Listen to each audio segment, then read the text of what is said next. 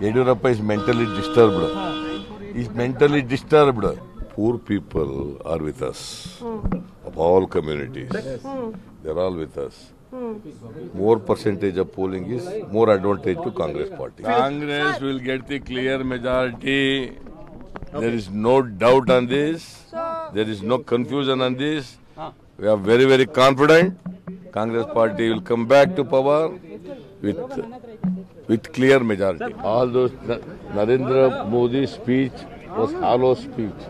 It, it has not made any impact on voters of Karnataka. Congress party will get more than 20, 120 seats.